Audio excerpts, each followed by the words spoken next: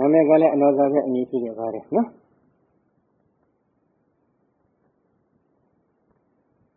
ရှင်မင်းမိဖုရားတူပဲလာဖြစ်ပါတယ်ရှင်မင်းနာမည်တော့မေ့သွားပြီကဲထားတော့နော်ပြီးတော့ဒီနေရာမှာအနောဇာပန်းအစင်းနဲ့တူတဲ့အမျိုးသမီးလို့အတိမနေတဲ့သဘောလေးကပါလေအဝိဇ္ဇာအဲ့ဒီအမျိုးသမီးဘဝကိုတွေ့တာတတ်မဲ့တဲ့သဘောကတဏှာစိတ်ကပြီးဆွဲနေတဲ့သဘောကဥပါဒံဒီအဝိဇ္ဇာတဏှာဥပါဒံခြံရံပြီးတော့ကြောင်းထူတန်းခြင်း တန်ငန်းလှူဒန်းခြင်းအနောဇာပန်းလှူဒန်းခြင်းဆိုတဲ့ကုသိုလ်စေရနာသင်္ခါရတွေကိုပြုစုပြထောင်လိုက်ဒီသင်္ခါရတရားတွေကအနိစ္စတရားတွေကြီးချင်းကြောင့်ချုပ်ပြတ်သွားတယ်ချုပ်ပြတ်သွားပြီမဲ့လို့နောက်တစ်ချိန်သူမျောလင့်တောင်းတနေတဲ့အနောဇာပန်းအစဉ်နဲ့တူတဲ့အနောဇာအမည်ရှိတဲ့အမျိုးသမီးဖြစ်ဖို့ရန်စွမ်းအင်ကမ္မတတ္တိလေးကိုယုံနာအစဉ်မှာမြုပ်နှံပြီးမှချုပ်ပြတ်သွားတယ်အဲ့ဒီတတ္တိလေးကဘာလဲကံပဲပေါင်းလိုက်တော့အဝိဇ္ဇာတဏှာဥပါဒံသင်္ခါရကံအကြောင်းတရား၅ခုစုံညီသွားတယ်အကြောင်းတရား၅ခုစုံညီသွားတဲ့အတွက် တကယ်ဒီကံကအကျိုးပေးဖို့ရန်အခါခွင့်တက်လာတဲ့အခါသူညှော်လင့်တောင်းတတဲ့အတိုင်းလာပြီးအကျိုးမပေးဘူးလားသူသူရေးဆွဲလိုက်တဲ့ပကြီးကားတဲ့ကြသူတိတ်တိတ်ကြဖြစ်ပေါ်မလာဘူးလားဖြစ်ပေါ်လာတယ်နော်နောက်တစ်ခုခဏခဏတော့ဟောမှုပါတယ်မဟာပိစိကဗုဒ္ဓမဟာဗုဒ္ဓပိစိကဗုဒ္ဓအလောင်းပဲနော်မဟာဗုဒ္ဓပိစိကဘောဓိညာရရှိရဲ့အတွက်နှစ်သိန်းဖြစ်တဲ့ကဘာတသိန်းပါရမီဖြစ်ရပါတယ်အဲ့ဒီလိုပါရမီဖြစ်ခြင်းဖြင့်အချိန်ခါမှာပေါ့နော် ပါရမီတွေတော်တော်ရင်ကျုံလာပြီလို့ယူဆရပါတယ်အဲ့ဒီအချိန်ကမှဘဝတစ်ခုမှာဒီမဟာဗုဒ္ဓပိစိကဗုဒ္ဓအလောင်းကဘာဖြစ်သွားတယ်ဆိုတော့ပရဒါရကံလို့ခေါ်ဆိုအပ်တဲ့သူတို့ဘာရဲ့သားများတွေကိုဖြစ်စည်းတဲ့ကံတစ်ခုလွန်ကျူးခဲ့မိအမဲဆက်တစ်ခုထင်သွားတယ်အဲ့ဒီအမဲဆက်ထင်တော့တဲ့ဒီကဏီကာလမှာဒီအမဲဆက်ကလေးကအကျိုးပေးဖို့ရအခါကွင့်သိတဲ့အခါကျတော့ဘယ်ရောက်သွားလဲမရင်းရောက်ငရဲကနေကျွတ်လာလွတ်လာတော့လူပြည်လူလောကမှာလူရဲလို့လက်ဖြစ်တော်လဲအမျိုးသားမဖြစ်ဘဲနဲ့အမျိုးသမီးဖြစ်ရတယ် အမျိုးသမီးဖြစ်လိုက်တဲ့အချိန်ကကျတော့မိခင်ဝမ်းထဲမှာသူပရိသတ်တွေတည်နေရတဲ့အခါကိုယ်လွယ်ရတဲ့မိခင်မှလည်းအမတန်ပူလောင်တယ်။ငရဲကလာတဲ့တရားတွေကိုကိုယ်လွယ်ထားရတဲ့မိခင်ဒီအမတန်ပူလောင်တယ်လို့ဆိုတယ်နော်။ကိုယ်တတ္တဝါဖြစ်တဲ့ဒီအမျိုးသမီးလေးကလည်းအမတန်ဆင်းရဲတဲ့ဒုက္ခကိုမိခင်ရဲ့ဝမ်းထဲမှာခံခဲ့ရတယ်။ခံခဲ့ရပြီးတဲ့အချိန်ကကျတော့ မွေးလာပြီးပြီမွေးလာတဲ့အချိန်ခါမှာမွေးလာတဲ့ဒီချိန်လေးထဲမိဘတွေကဒီသမီးလေးကိုမြင်တွေ့လိုက်တဲ့အခါမှာဘယ်လိုဖြစ်လာလဲဒစ်ပါတဲ့သာမန်ဖော်ပြထားသိမုန်းတာပဲဒီကလေးကမုန်းတာတွေဘာမှလုပ်တတ်တယ်မလုပ်တတ်သေးပြောတတ်သလားမပြောတတ်သေးဒါပြင်းနဲ့အမိအရင်အဖအရင်နေကိုယ်တိုင်ကဒီကလေးကိုအမှန်တမုန်းနေကြောက်ဖို့မကောင်းဘူးလားသိကောင်းတယ်အကျဉ်းတန်အရွယ်ရောက်လာတဲ့အခါကျတော့ ပြည့်စုံကဗောဓိညာအတွက်ဖြစ်ကျင်ခဲ့တဲ့ပါရမီအရှင်ဝါတွေကလည်းတစ်ဖက်ကအကျိုးပေးဖို့အခါခင်းသိနေပါတယ်။အမတန်ချုံမလှပတဲ့အမျိုးကောင်းသမီးလေးတူဖြစ်ပါတယ်။ဒါပေမဲ့လို့ရွှေမျိုးသားချင်းတွေကလည်းမြင်လိုက်ရင်မုန်းတယ်။မိဘနှစ်ပါးကလည်းမြင်လိုက်ရင်မုန်းတယ်။မလွဲမရှောင်သာလို့သားသမီးအဖြစ်နဲ့ဆက်ဆံနေရပြီမဲ့လို့ချစ်ခင်တဲ့စိတ်ဓာတ်နဲ့မဆက်ဆံဘူးမုန်းတီးတဲ့စိတ်ထားနဲ့ပဲဆက်ဆံနေဒီလောကမှာရှိကြပါတယ်သားသမီးတွေ တချို့မိဘတွေကတချို့သားသမီးကိုပိုချစ်တဲ့သဘောရှိတယ်တချို့သားသမီးကြတော့တိတ်ပြီးတော့မုန်းတီးခြင်းနဲ့ဆန္ဒတမရှိဘူးလားရှိတယ်ဒါဘာနဲ့အကြောင်းဆက်နေတယ်လဲဆိုတော့အခုကံမဲဘာဖြစ်လို့မုန်းရလဲဆိုတော့ဒီသူဘသားများကိုလိုက်ချက်စည်းတဲ့ပုဂ္ဂိုလ်အပြည့်စည်းခံရတဲ့ပုဂ္ဂိုလ်ကလည်းမမုန်းဘူးလားမုန်းတယ်ဒီကကြားတဲ့ပုဂ္ဂိုလ်တွေကလည်းမမုန်းဘူးလားမုန်းသူတို့ဘာလို့မုန်းတီးရွှန်ရှာဆက်ဆုပ်တဲ့ကံတစ်ခုကိုသူကအာရပါရစိတ်ကြည်ကြည်နဲ့နဲ့ကြည်ပြည့်စုံပြဆောင်ခဲ့ ဒီကံကအကျိုးပေးဖို့ရန်အခါခွင့်သင့်လာတဲ့အချိန်ခါမှာသူတို့ကမုန်းတီးတဲ့ပုဂ္ဂိုလ်ပဲဖြစ်ရပြန်နေကြောက်ဖို့သိကောင်းနော်အချိန်တန်အရွယ်ရောက်လာတဲ့အခါအမျိုးကောင်းသားတူနဲ့အမျိုးတို့အငယ်တို့အမျိုးကောင်းသားတူနဲ့လက်ကထင်းများပေးလိုက်ပါတယ်အဲ့ဒီအမျိုးသားကလည်းဒီအမျိုးသမီးမြင်တယ်မုန်းမြောက်ခမတွေကလည်းမုန်းတယ်ဘယ်သူကမှသူ့ကိုမချစ်ကြမချစ်တဲ့အချိန်ကကျတော့ဒီနေ့ဘာဖြစ်လဲလူကိုပွဲပုံစံနဲ့တူပါရဲ့နော် တောင်ထိပ်ပွဲကျင်းပပြန်ပြီအဲဒီတောင်ထိပ်ပွဲတွင်ကျင်းပတဲ့အချိန်ကကျတော့မိမိတို့ရဲ့စည်းစိမ်ကုသစည်းစိမ်ဂုံတင်ဥစ္စာအစဉ်အတက်နဲ့တူညီစွာပေါ့တောင်ထိပ်ပွဲသွားပြီးဆင်နွှဲကြတယ်အဲဒီအချိန်ကမှသူ့ရဲ့အင်ရှင်ယောက်ျားကတခြားအမျိုးသမီးတယောက်ကိုခေါ်ပြီးတော့သွားပြောသွားပြောပါတယ်ပြောပါတဲ့အချိန်ခါကျတော့သူကညနေငယ်လေးနဲ့ယောက်ျားအလုပ်သူပြန်လာတဲ့အချိန်ခါမှာသူကပြောတယ်ဘယ်လိုပြောလဲအရှင်သာ ကျွန်တော်မကိုအလိုမရှိခဲ့ဘူးဆိုရင်လေမိဘအိမ်အမျိုးအိမ်ကိုပဲပြန်ပြစေခွင့်ပြုပါ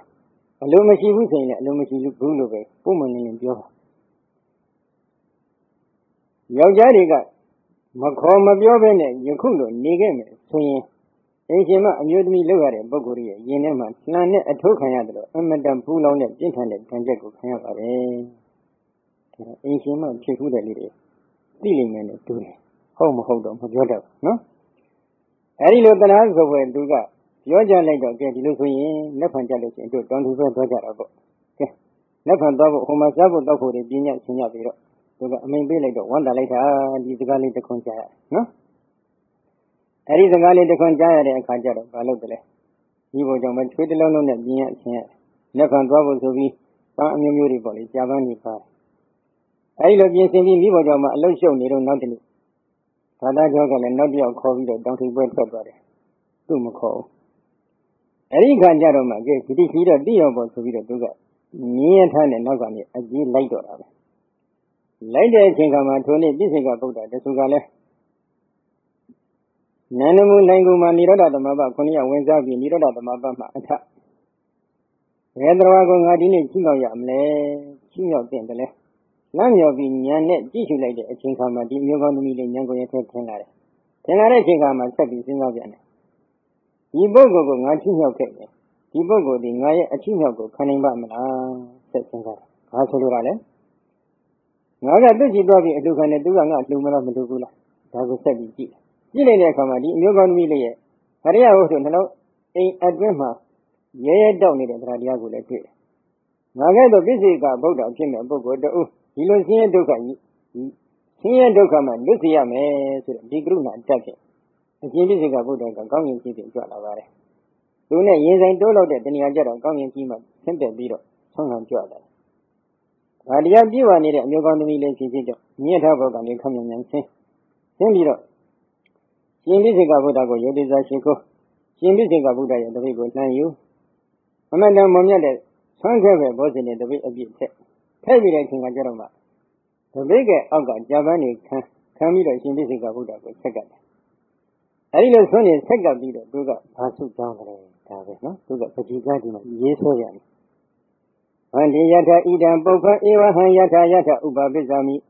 တထတထမဟာဇနတပိယဘဝေယမနာပါဗန္ဒီအရှင်မြတ်ဖျားဣဒံပုပ္ပံဤပံကို မဟာဇနတလူမြအပေါင်းဒီပိယယထချင်းမြတ်တို့အတ္တကဲ့သို့မနာပါယထစိနေလုံးကိုတိုးပန်စေတကဲ့သို့အေဝံဤအတုဟံဖျားတပိတော်ဒီယထယထအကျင်ပုံဘဝ၌ဥပပေဇာမိပရိသန္တိအဖြစ်ဖြစ်ပေါ်ရပါ၏တထတထထိုထိုဘုံဘဝ၌မဟာဇနတလူမြအပေါင်းဤပိယချင်းမြတ်တို့အပ်တဲ့ပုဂ္ဂိုလ်သည်မနာပါစိတ်နှလုံးကိုတိုးပါစေတတ်တဲ့ပုဂ္ဂိုလ်တိုးပါစေတတ်တဲ့ပုဂ္ဂိုလ်သည်ဘဝယံဖြစ်ရပါလို့ ဤသူတောင်းတဲ့စိတ်ရှင်ဗျာဒီဘုံမှာကြံပန်းကိုလူသားတော်အပေါင်းကချစ်မြတ်လို့တကဲ့သို့အလားတူပဲတပိတော်မသည်ဖြစ်လျာဌာနဘုံဘဝမှာလူများအပေါင်းဤချစ်ခင်မြတ်လို့ခြင်းကိုရရှိတဲ့ပုဂ္ဂိုလ်ဖြစ်ရပါလို့ဤဒီစုတောင်းဘာဖြစ်လို့လဲသူ့မှာနာကြီးကြက်ကလေးကလူများအပေါင်းရဲ့မုန်းကြီးမှုကိုခံရရတယ်။ဒါကြောင့်လူများအပေါင်းရဲ့ချစ်မြတ်နှုတ်မှုကိုတော့သူကသိပြီးတော့လူရှိနေတယ်။သို့တော့ အကုန်လုံးကဝိုင်းချင်မယ်ဆိုရင်ဘယ်နဲ့နေမလဲ။သင်္ကာပြီးတာတောင်းပြီးတော့နော်။ကဲနောက်တစ်ခုဗန္တိဒုက္ခကပ္ပဝသောတာနုပါကမ္မပရုမပုပ္ပေဧဝပရိသန္တိဘဝယံဗန္တိအရှင်ဖေယကပ္ပဝသောအမိဝန္တိုင်း၌ပရိသန္တိတည်နေရခြင်းဒီကဒုက္ခဆင်းရဲလှပါ၏တန်ထိုအမိဝန္တိုင်း၌ပရိသန္တိတည်နေရခြင်းကိုအနုပကမ္မမကရောက်မူ၍ ဘဒုမပုပ္ပေဧဝဗြဟ္မာကြာပန်း၏အတွင်၌တန်တဲ့ပရိသန္တိပရိသန္တိတည်နေရတဲ့ပုဂ္ဂိုလ်သည်ဘဝယံဖြစ်ရပါလို၏မိခင်ဝမ်းထဲမှာပရိသန္တိတည်နေရတဲ့ဒုက္ခဒီနားလည်နေဆင်းရဲတယ်ဆိုတာကိုသိသဘောပေါက်နေတဲ့အတွက်နောက်ထပ်ဒီအမိဝမ်းထဲမှာပရိသန္တိတည်နေမှုမရှိပဲဘရုံမှာကြာပန်းအတွင်းမှာဒါလည်းပရိသန္တိဒီနေရပါလို့ဤဒီစုတောင်းနော်ကဲဒီနေရာမှာအဝိဇ္ဇာတနာဥပဒသင်္ခါရကံလေးနည်းနည်းထပ်ပြောကြရအောင် လူများအပေါချစ်ခင်များလို့အပ်တဲ့အမျိုးအမျိုးကောင်းသားအမျိုးကောင်းသမီးလို့အတိမှားနေတဲ့သဘောကအဝိဇ္ဇာအဲ့ဒီဘဝကိုတွေ့တတ်မဲ့တဲ့သဘောကတဏှာဒီမှာတော့သူကအမျိုးသားဘဝတွေ့တတ်နေတယ်နော်စိတ်ကဆွဲနေတဲ့သဘောလေးကဥပါဒံဒီဝိဇ္ဇာရဏဥပါဒံသုံးခုခြံရံပြီးတော့အရှင်ပြည့်စေကဗုဒ္ဓအမောမြတ်တဲ့ဆွမ်းခဲ့ပဲဘောဇင်လေးနဲ့ဘုံမှာဇာပန်းကိုလူတန်းနေတယ်ကုသိုလ်စေရနာသင်္ခါရတွေဖြစ်သွားတယ် ဒီသင်္ခါရတရားတွေထုတ်ပြသွားတဲ့အခါယုံနာအစင်မှာမြုပ်နှံထားခဲ့တဲ့စွန့်အင်တတ္တိလေးကကံပေါင်းလိုက်တော့အဝိဇ္ဇာတနာဥပါဒသင်္ခါရကံ၅ခုသုံးယူသွားတယ်နောက်တစ်ခုအမိဝမ်းနိုင်မှာပြိတ္တန်တွေတည်နေရတဲ့ပုဂ္ဂိုလ်မဖြစ်ချင်ဘူးဘရုံမာကြာပန်းအတွင်းမှာပြိတ္တန်တွေတည်နေရတဲ့ပုဂ္ဂိုလ်တော့ဖြစ်ချင်ဘရုံမာကြာပန်းအတွင်းမှာပြိတ္တန်တွေတည်နေရတဲ့ပုဂ္ဂိုလ်တို့အတိမှားနေတဲ့သဘောကအဝိဇ္ဇာအဲ့ဒီဘဝကိုတွေ့တတ်မဲ့တဲ့သဘောလေးကတဏှာစိတ်ကပ်ပြီးဆွဲနေတဲ့သဘောကဥပါဒံ ဒီအဝိဇ္ဇာတဏှာဥပါဒံသုံးခုခြံရံပြီးတော့မှအရှင်ပြည့်စင်ကဘုရားအဆွမ်းနဲ့ဘရုံမာကြာပန်းလှူကောင်းခဲ့ကုသိုလ်စေတနာသင်္ကာရအုပ်စုတွေပြုစုထူထောင်လိုက်တယ်ဒီသင်္ခါရတရားတွေချုပ်ပြသွားတဲ့အခါမှာယုံနာအစဉ်မှာမြုပ်နှံထိုက်ခဲ့တဲ့စွန့်အင်တတ္တိလေးကတော့ကံပေါင်းလိုက်တဲ့အခါကျတော့အဝိဇ္ဇာတဏှာဥပါဒံသင်္ခါရကံအကြောင်း၅ခုစုံသွားတယ်နော်ကဲနောက်တစ်ခုသူကဘာဆက်ပြီးသုတောင်းတဲ့နံပါတ်3 ဝန္တိဇေကုသောမတုကမောသက်ကဝတိတိတာပိပရဝတံကိစ္စတိတသမအဟံဣတိဘာဝအနုဘကမပုရိသောဘဝေယဝန္တိအရှင်ဖေယမတုကမောမတုကမမိမိမမိတိကရေကုသောဆက်ဆိုရင်ရှားပွဲကောင်းလှပါပေ၏သက်ကဝတိတိတာပိစကြဝရမိဤသမီးပင်ဖြစ်တော်냐လေပရဝတ္တံယောက်ျားဟုခေါ်ဆိုအပ်တဲ့သူတော်ဘာရဲ့အလိုဆန္ဒသို့ကိစ္စတိလိုက်ပါ၍အနိယတတ်ပါ၏ တတ္တမထုတ်ကဟံဖျားတိတော်မှသည်ဣတိဘာဝံအမျိုးသမီးအဖြစ်သို့အနုပကမမကရောက်ရမူ၍ဝရိသောယောက်ျားစင်သည့်စင်စစ်ဒီဘဝယံဖြစ်ရပါလို၏ရှင်ဖျားမာတုကမဆိုတာကအလွန်ရွှင်ရှားဆက်ဆုပ်ပဲကောင်းပါလေ။ကျေဝရမင်းရဲ့တမိယရဏပင်ဖြစ်ခြင်းဖြစ်ပါစေ။ယောက်ျားလိုခေါ်ဆိုအပ်တဲ့သူတို့ဘာရဲ့အလိုဆန္ဒကိုတာလိုက်လျောနေရတဲ့ပုဂ္ဂိုလ်မျိုးဖြစ်ပါတော့ဗျာ။ဒါကြောင့်တပည့်တော်မှဒီ အမျိုးသမီးအဖြစ်သို့မကရောက်ရပဲယောက်ျားစင်စစ်တာဖြစ်ရခါလို့ဤဒီဆုတောင်း။ဘာဖြစ်လို့သူကယောက်ျားဘဝဆုတောင်းရအကြောင်းရှိတယ်နော်။အမျိုးသမီးဘဝနဲ့သူလက်ရှိခံစားနေရတဲ့ဒုက္ခကိုလည်းသူသဘောပေါက်တာဒါကအနိကဆုံးအကြောင်းပေါ့ဝေးတဲ့အကြောင်းတစ်ခုကတော့ပြစ္ဆေကဘောဓိဉာဏ်အတွက်ပါရမီဖြည့်ကျင်ခဲ့ခြင်းအချိန်ခါတုန်းကသူကယောက်ျားဘဝနဲ့အကျဉ်းများစွာဖြစ်ကျင်ခဲ့ ယောက်ျားဘဝနဲ့ကျင်းခွန်များစွာဖြစ်ခဲ့ဘူးတဲ့အတွက်ယောက်ျားဘဝကိုပြန်ပြီးတော့သူကတင်တတ်တတ်မဲ့တဲ့သဘောပေါ်လာတယ်အကယ်၍အမျိုးသမီးတွေဇက်တက်ဖြစ်ခဲ့ရရင်အမျိုးသမီးဘဝပဲတွေ့တတ်မဲ့တဲ့သဘောရှိပါတယ်နော်တချို့ဒီထဲမှာတကယ်ကြီးဒီမကြီးတွေကိုယ်စိတ်ကိုပြန်အကဲခတ်ကြည့်ပါနောက်ဘဝတစ်ခုဆိုတာရှိခဲ့မယ်ဆိုရင်အမျိုးသမီးပဲဖြစ်ချင်တယ်လားအမျိုးသားပဲဖြစ်ချင်တယ်လားဒီဆန်းတတ်တဲ့ဘဝကိုနေကြည့်နော်သိနိုင်ပါတယ်အမျိုးသမီးပဲဖြစ်ချင်တဲ့တချို့ကအမျိုးသားဖြစ်ချင်တဲ့စိတ်ဓာတ်မညှို့တိုင်းဘူး တချို့ကအမျိုးသားပဲဖြစ်ချင်တဲ့အမျိုးသမီးဖြစ်ချင်တဲ့စိတ်ဓာတ်မညှို့တိုင်းဘူးအမျိုးသမီးဒီအမျိုးသမီးဖြစ်ချင်နေသမျှကာလပတ်လုံးအမျိုးသမီးဘဝမှာဘယ်တော့မှမလွတ်မြောက်နိုင်ဘူးအမျိုးသားဒီအမျိုးသားဖြစ်ချင်နေသမျှကာလပတ်လုံးအမျိုးသားဘဝမှာဘယ်တော့မှမလွတ်မြောက်နိုင်ဘူးဆိုပြီးတော့ဟိုဘက်ကမာတုကမှာတန်ရုပ်ဆိုတဲ့တန်ရုပ်တွေမှာမြတ်စွာဘုရားဟောထားတယ်။ဒါကြောင့်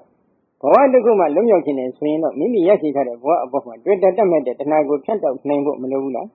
လိုအပ်နေတာ။ခုဒီနေရာမှာ အမျိုးသမီးဘဝကိုတော့သူကယဉ်ရှာဆက်ဆုပ်တာမှန်တယ်လွတ်မြောက်ခြင်းနဲ့ဒါပေမဲ့ဘယ်ဘဝကိုသူကတွေ့တာပြန်လဲအမျိုးသားဘဝကိုတွေ့တာပြန်တယ်အမျိုးသားလို့အတိမှားနေတဲ့သဘောလေးကအဝိဇ္ဇာအဲ့ဒီအမျိုးသားဘဝကိုတွေ့တာတတ်မဲ့တဲ့သဘောကတဏှာစိတ်ကပြီးဆွဲနေတဲ့သဘောလေးကဥပါဒံဒီဝိဇ္ဇာတနာဥပါဒံတုတ်ကိုခြံရံပြီးတော့အရှင်ပိစေကဗုဒ္ဓအားဆွမ်းခဲ့တဲ့ဘောဇင်းနဲ့ပရမကြာပန်းကိုလှူဒန်းတဲ့ကုသိုလ်စေရနာအုပ်စုတွေကိုပြုစုပြုထောင်လိုက်တယ်သင်္ခါရတရားတွေပဲ ဒီသင်္ခါရတရားတွေကချုပ်ပြတ်သွားတဲ့အချိန်ခါမှာယုံနာအစဉ်မှာမြုပ်နှံခဲ့တဲ့စွမ်းအင်ကမ္မတတ္တိလေးကကံပေါင်းလိုက်တော့အဝိဇ္ဇာတဏှာဥပါဒသင်္ခါရကံအကြောင်း၅ခုသုံးသွားပြန်တယ်။ဘုလိုဒီလောက်နဲ့သူကမကျင်တတ်ကြဘူး။နောက်ထပ်သူဘာဆုတောင်းလဲ။နံပါတ်၄ဗန္တေဣမံတန္တရာဒုက္ခအတိကမပရိယောဒနေတုံမေဟိပတ္တအမတပဗုနေယ ဗန္တေအရှင်ဖျာဣမံတန္တရာဒုက္ခဤတန္တရာဝစီယဒုက္ခကိုအတိကမကျော်လွန်လွန်မြောက်ရသည်ဖြစ်၍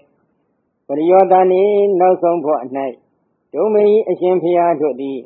ပတ္တံရတော်မူအရောက်တော်မူအတိတော်မူအမြင်တော်မူအပ်သောအမတံမတိယအမျက်ညိကံတရားတော်မြတ်ကိုပပုနေယံရောက်ရရရပါလို၏ဒီစုကတော့ကောင်းပါတယ်နော်ကောင်းပြီနဲ့သူကဘယ်ကြမှာဆူတောင်းလဲ ပရိယောဒတိနောက်ဆုံးဘဝကြမှာအဆုံးစုံသောဘဝကြမှာခုဘဝလိုချင်တာဟုတ်သလားမဟုတ်ပြန်သေးဘူးနော်နောက်ထပ်သံဃာခီးကသူကဆက်ချင်တယ်ဆိုတဲ့ဥဒိယကလေးရှိမနေဘူးလားရှိနေတယ်ဒါကြောင့်ဒီသန္တရာဝဆင်းဒုက္ခကိုကြော်လွန်လွန်မြောက်ပြီးတဲ့အခါနောက်ဆုံးကရောက်လို့ရှိရင်အရှင်ဘုရားတို့သိတော်မူအပ်မြင်တော်မူအပ်ရတော်မူအပ်ရောက်တော်မူအပ်တဲ့မတရားအမြင့်နိဗ္ဗာန်တရားကြီးကိုတပည့်တော်မှလည်းရောက်ရရရသိရပါလို့ဤဒီဆုတောင်း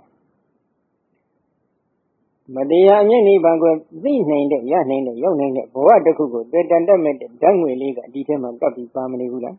ပါနေပြန်တယ်သူကအဲ့ဒီမတရားအမြင့်နိဗ္ဗာန်ကိုလိုလားတောင့်တတဲ့ဘဝတစ်ခုကိုမျှော်လင့်ချက်ရှိနေသေးတယ်နော်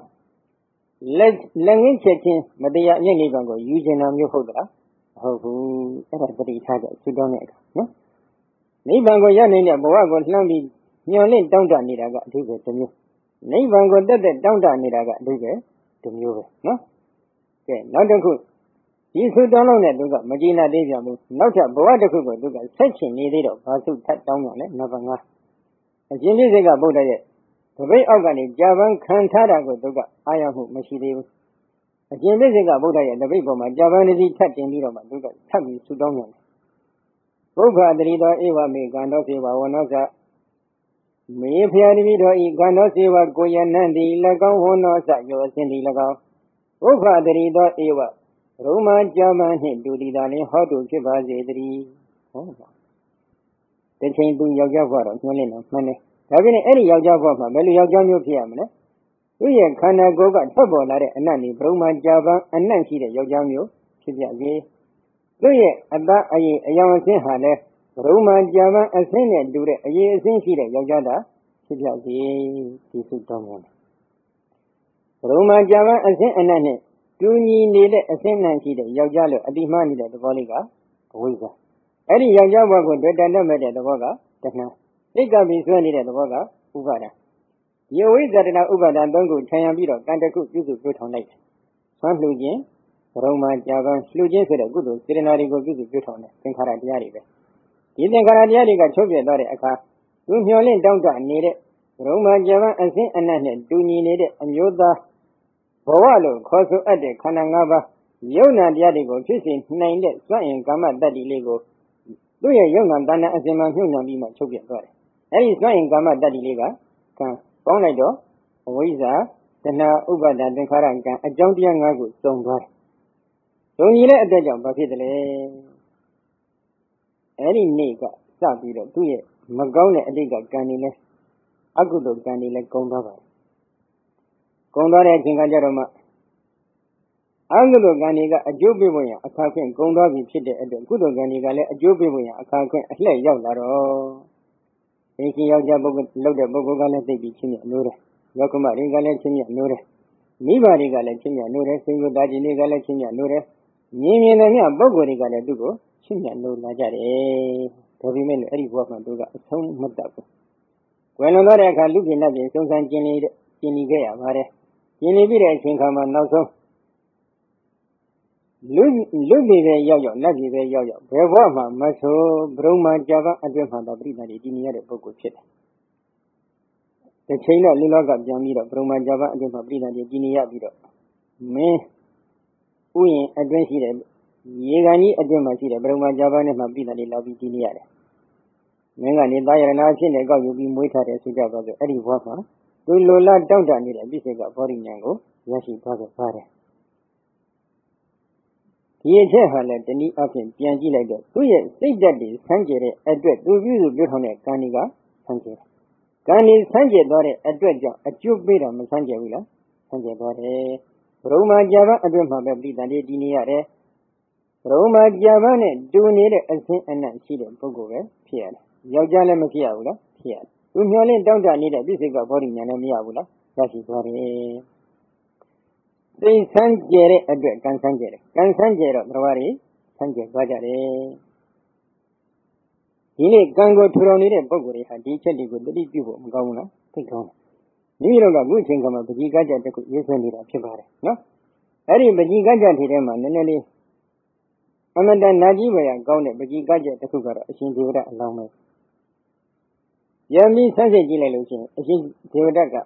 နောက်ထပ်သိစိကဘောဓိညာရရှိဖို့ရအတွက်ကဘာတသိမ့်မြေပါရမီဖြစ်ရတော့မယ်သူတော်ကောင်းတူဖြစ်ပါတယ်။နှစ်သိန်းချေတိုင်းတယ်ကဘာပေါင်းနှစ်သိန်းချေတိုင်းတယ်တသိန်းချေတသိန်းချေမှာတိစ္ဆာကျမ်းဆရာတို့ရဲ့အယုံစအရာပြောရင်တော့တစ်နောက်မှာသုံးညအလေးပေါ့အလုံးပေါင်း140ရှိတယ်ကဘာပေါင်းအဲ့ဒီလိုနှစ်ကြိမ်နှစ်ပြန်ပေါ့ အဲ့ဒီလောက်အထိပြည့်စုံကဗောဓိမြန်ရရှိရဲ့အတွက်ပါရမီဖြစ်ခဲ့တဲ့သူတော်ကောင်းကြီးတူဖြစ်ပါတယ်အားလုံးကြားမှုတဲ့အတိုင်းပဲလွန်ခဲ့တဲ့၅ကဘာအထက်ကရွှေခွက်တစ်ခုကိုရွက်ကုန်ဒီဘွားမှာရွှေခွက်တစ်ခုကိုအကြောင်းပြုပြီးတော့ဘုရားအလုံးနဲ့ရံညိုဖွဲ့ခဲ့ပြီမကျင်းတဲ့ချက်တွေစတင်ထူထောင်ခဲ့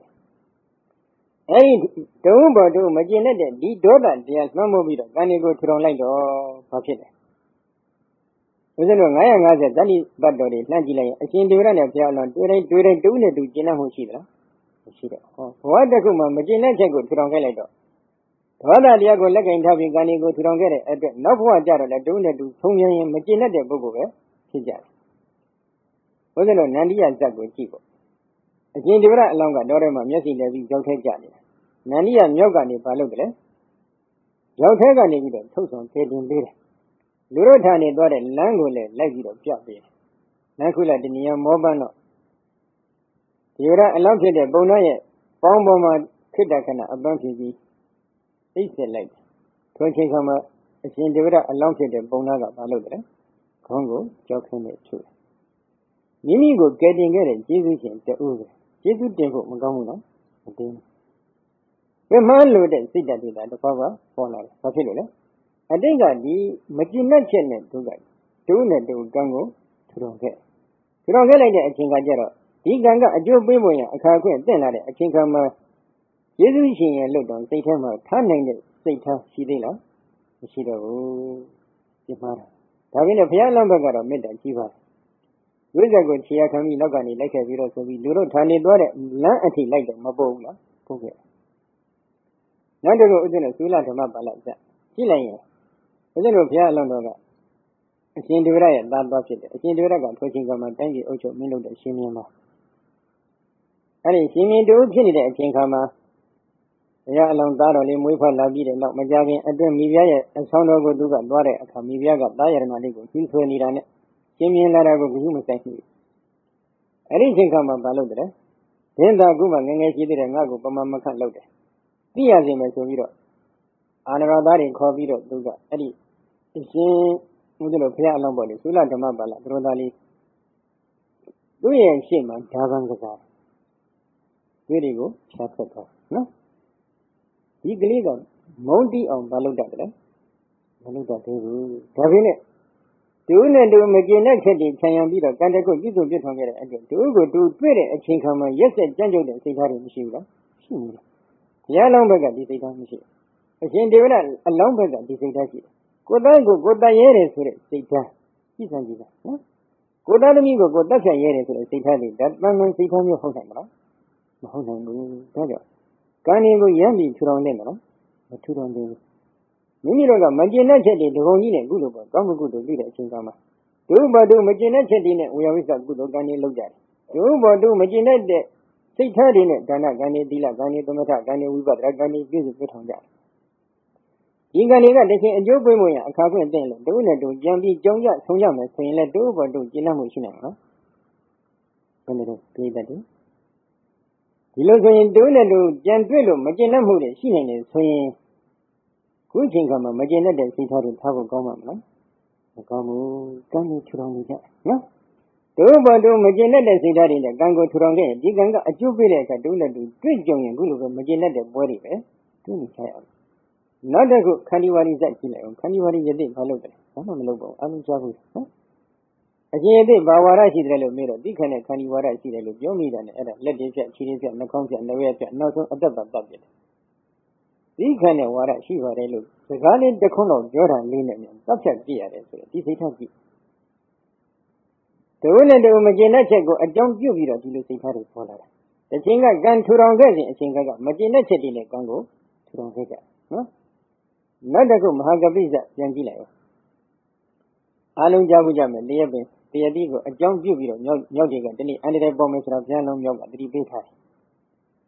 တတိပေးထားတဲ့အတွက်ဒီတရက်ပင်ကတရတိကိုရေးတယ်ကျင်းကမြေကမ်းပါမှာဒီတရက်ပင်ကရှိနေတယ်အထက်ကျင်းက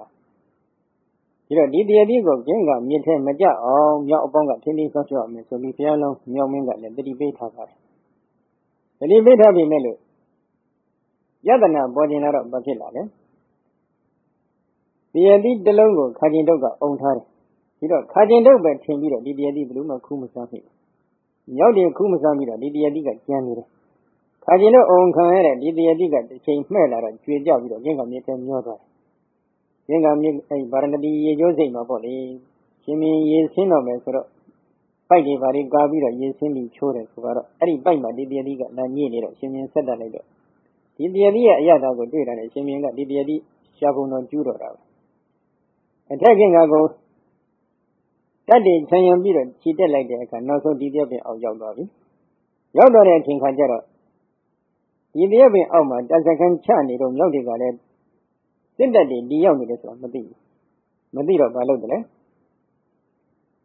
တရားပြင်မှာစားနေကြအတိုင်းလာပြီးစားကြတာပေါ့စားလဲစားရလေးတော်သားတွေကိုအဝိုင်းခိုင်းလိုက်တယ်ဝိုင်းလိုက်တော့မြောက်တွေပြေးလို့မရတော့မရတဲ့အချိန်ကကျတော့ဘုရားလုံးမြောက်ကဘာလုပ်လဲ ဟိုဘက်ကျင်းကတစ်ဖက်ကန်းကိုသူ့ခွန်အားနဲ့လှမ်းပြီးတော့ခုံလိုက်ခုံတဲ့အချိန်ကမှဒီတရားကိုင်းကနေပြီးတော့ဟိုဘက်ကျင်းကမြေတစ်ဖက်ကန်းရှိတဲ့တစ်ပယ်ဘလောက်ဝေးမယ်ဆိုတာကိုသူကညံနဲ့တိုင်းတာသွားတိုင်းတာပြီးတော့ကြောထဲမှာငွေကြိုးတွေလိုက်ရှာငွေကြိုးတွေလိုက်ရှာပြီးတော့ကျင်းကတစ်ဖက်ကန်းမှာရှိတဲ့တစ်ပင်ကိုငွေတစချီခဲ့ချီပြီးတော့သူ့ခါမှာငွေတစချီပြီးတော့ဟိုဘက်ကန်းတစ်ပင်ကနေဒီဘက်တရားပင်ကိုပြန်ခုံတယ်ရှင်မြင်ကလည်းအောက်ကနေဒါကိုတေချာကြည့်နေတယ် လေးတော်သားတွေကိုအပြစ်မခိုင်းဘူးဒီမြောက်နေဘာလုပ်မလဲဆိုတော့သူကအတူယူခြင်းလို့ကြည့်နေတာအဲ့ဒီချိန်ကမှဒီဘက်ကိုလှမ်းခုံလိုက်တဲ့အခါကျတော့ဟိုဘက်သစ်ပင်ကိုခြီဖို့ရန်အတွက်အတိုင်းအတာကိုထည့်ပြီးမစင်းစားခဲ့ဘူးသစ်ပင်ကိုပတ်လိုက်တဲ့ကျိုးအတိုင်းတာလောက်လိုသွားလိုသွားတဲ့အခါကျတော့လိုနေတဲ့နေရာလေးကိုကွက်လက်ပြည့်တဲ့အနေနဲ့ဘုရားလုံးမြောင်မင်းကမလုပ်တယ်တရားကိုင်းတစ်ခုကိုသူလှမ်းပြီးကင်ထားလိုက်တယ်ကဲငါအပေါ်ခုံချပြီးဟိုဘက်ကဒီကျိုးအတိုင်းကူးကြ အဲဒီလိုအခုခိုင်းလိုက်တဲ့အခါမြောက်တွေ တကောင်ပြီးတကောင် ကူးလိုက်တော့ ဟိုဘက်ကရောက်ကုန်ပြီ ရှင်ဒေဝရအလောင်း နောက်ဆုံးကြံတယ်။ကြံတဲ့အချိန်ကကျတော့ ကြည့်ပေါ့ မိမိတို့ရဲ့အသက်ကို ကယ်တင်ပေးနေတဲ့ယေရှုရှင်တူကိုကျင်နာတနာဖို့ မကောင်းဘူးလား။ကျင်နာတနာဖို့ ကောင်းဒါပေမဲ့အဲ့ကျင်နာတနာတဲ့ စိတ်ထားရှိလား မရှိဘူး ဘာလို့လဲ။အမြင့်ဆုံးဖြစ်တဲ့ တကိုင်းမော်တဲ့အဲ့ဒီကနေကြောတဲ့တဲ့ကို တအားခုန်ချလိုက် ဟောကြောတဲ့တဲ့ တအားခုန်ချလိုက်တော့ခေပြောနေပြောရင်လည်းအဆုတ်ကွာသွားတယ်နဲ့ တူးတယ် ဒါပြီးတော့စာမန်ကတော့အိမ်နှလုံးနည်းနည်းကွဲသွားတယ်ကွဲသွားပြီးတော့အဲ့ဒီမှာသူ့တော့ကူးပါပြီကူးတော့ကူးလို့ရသွားတယ်ဘုရားအလောင်းကအဲ့ဒီမှာနှလုံးကွဲပြီးသေးသွားရှင်မင်းကကြီးညိုလွန်းလို့ဘုရားအလောင်းကိုမိသိညိုပြီးတော့အယိုးတွေဗာရဏတိယူသွားပြီးတော့ပူဇော်ထားတယ်အဲ့ဒီမှာကြည့်တော့မိမိရဲ့အသက်ကိုထုတ်ဆောင်ကယ်တင်ပေးနေတဲ့မိမိရဲ့ဆွေမျိုးသားချင်းတွေရဲ့အသက်ကိုထုတ်ဆောင်ကယ်တင်ပေးနေတဲ့ဒီဘုရားအလောင်းကျင့်တတ်ဖို့မကောင်းဘူးသိပြီကျင့်တတ်ဖို့ကောင်းတယ်ဒါဖြစ်လေကျင့်တတ်တဲ့စိတ်ထားရှိလား မရှိဘူးဘာဖြစ်လို့လဲအတိတ်ကကံကိုပြုစုပြထောင်ခဲ့တဲ့အချင်းခံမှာတူဘောတူမကျင့်တတ်တဲ့စိတ်ထားနဲ့ဒီကံကိုပြုစုပြထောင်ခဲ့တယ်ဒီတော့နောက်ထပ်တွေ့ကြကြုံကြဆုံးချပြီးဆိုရင်ရောကျင့်တတ်အောင်မလားမကျင့်တတ်တော့ဒီလိုဆိုရင်မိမိတို့ရဲ့မကျင့်တတ်တဲ့ဒီစိတ်ဓာတ်ကလေးတွေကိုပြုပြင်ပြောင်းလဲပြဖို့မလိုဘူးလားဘယ်နဲ့တော့ယောဂီတွေမလိုဘူးလား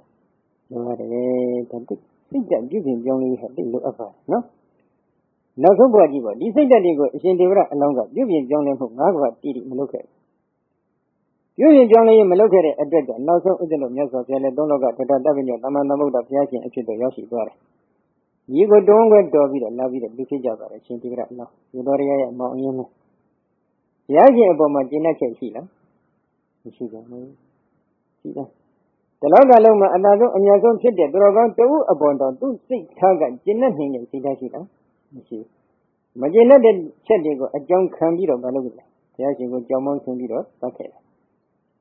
ဝိသိတည်စေခဲ့မင်္ဂသင်ခွဲခဲ့ဒီတန်ခါသင်ခွဲတဲ့ကံကနောက်ဆုံးသူ့ကိုအကျိုးပေးပါပဲ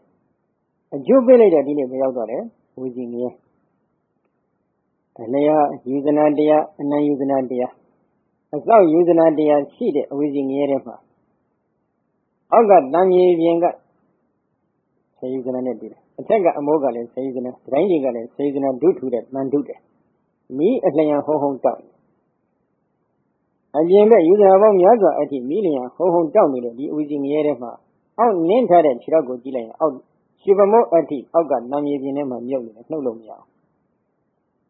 အဘောကအမိုးကွန်သူ့နှစ်ဖူးကတွားထိတော့နှစ်ဖူးအထိခေါင်းကမြုပ်သွားတယ်လှုပ်လို့မရအောင်ဘယ်ဘက်လက်ကဘယ်ဘက်တန်တိုင်းထဲမှာမြုပ်နေ ညာဘက်လက်ကညာဘက်တန်တိုင်းထဲမှာမြုပ်နေတယ်အရှိနဲ့အနောက်ထမ်းမြင်လုံးကပမာဏရှိနေတဲ့မန္တကျင်တစ်ခုကအရှိတိုင်းနဲ့အနောက်တိုင်းကိုထုတ်ဖောက်ပြီးစိုက်ထားတယ်လှုပ်လို့မရဘူးဘာဖြစ်လို့လဲမတုံမလုပ်တဲ့မြတ်စွာဘုရားအပြစ်မှားခဲ့တဲ့အတွက်မတုံမလုပ်တဲ့အကျိုးတွေကိုရရှိတယ်။ဘာကိုအခြေခံတဲ့တအုပ်အပေါ်တအုပ်မကျေနပ်ချက်ကိုအခြေခံခဲ့တယ်။ဒါကြောင့်တအုပ်နဲ့တအုပ်ကျေနပ်ဖို့မကောင်းကြဘူးလား။ဒီကောင်းတယ်။ ရေရင်လက်နဲ့ကလေးနဲ့ဒါနကံနေပြုစုပြုထောင်းဖို့ကောင်းတယ်။သီလကံနေပြုစုပြုထောင်းဖို့ကောင်းတယ်။သမထကံနေဝိပဿနာကံနေပြုစုပြုထောင်းကြဖို့ကောင်းတယ်။ဝေယဝိဇ္ဇကုသိုလ်ကံလေးတွေကိုလည်းကြည်ကြည်နက်နက်ကြီးနဲ့တူပေါ်တူပြုစုပြုထောင်းဖို့မကောင်းဘူးလား။ဒီကောင်းတယ်။မကျင်နဲ့ချက်တွေနဲ့ပြုစုပြုထောင်ခဲ့ရင်တော့မကျင်နဲ့တဲ့ပုဂ္ဂိုလ်တွေသွားတဲ့လမ်းကိုကိုမသွားရဘူးတော့။ဒါရလိမ့်မယ်။ဒါကြောင့်မိမိတို့ရဲ့စိတ်ဓာတ်ကလေးတွေကိုပြည့်ပြည့်ပြောင်းလဲပေးဖို့မလိုဘူးလား။လိုအပ်တယ်။ နောက်တစ်ခုကြည့်ပေါ့။ဒါကံဆန်းကျဲတဲ့စိတ်ဆန်းကျဲတဲ့အတွက်ကံဆန်းကျဲတယ်။ကံဆန်းကျဲတဲ့အတွက်အကျိုးပေးတွေအဆန်းတွေဖြစ်မသွားဘူးလား။ဖြစ်သွားတယ်။နောက်တစ်ခုအမ္ဘပါဠိပိဋကမအလောင်းပြန်ပြီးဆန်းစစ်ကြည့်